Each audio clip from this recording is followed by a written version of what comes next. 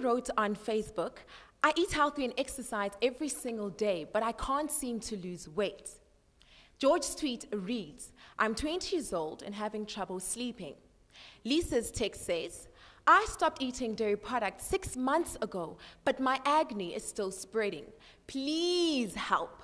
So, those are just some of the questions that we are picking up from you to us. You are watching Footprint Media Health with me, Nelly Nkambule. And joining us now is the international renowned Dr. Christine, a healthy lifestyle coach, and she will be answering some of your questions after this short break. So, do keep it Footprint Media TV, the interactive online youth channel. Still, someone else did it, so I'm blown as well.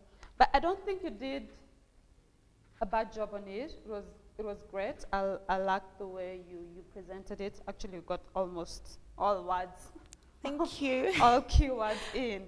Thank so I like that. Um, just because of time, I won't say much, but I think you've got lots of potential. You look good, and you presented it well. I followed everything that you said, so I'll say yes. Thank you. All right. Uh, oh, sorry. Uh, I don't know. Let's see. Actually, I love how you brought this to life because this now, behind the scenes conversation, we're talking about how the health show mm-hmm. might actually be, for everyone, one of the most difficult scripts to pull out mm-hmm. out of the calabash.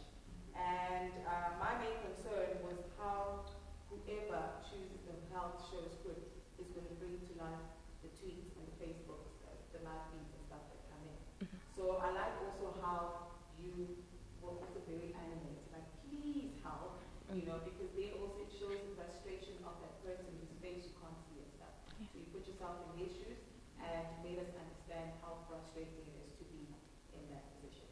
So for me, it was a good one, and I hope that's it. Thank you. Okay, well now yes or no doesn't count then. As you know, the rules of the, competition. Um, you're really going to Okay. Thank you. Thank you Thank you so very much. much, Nelly.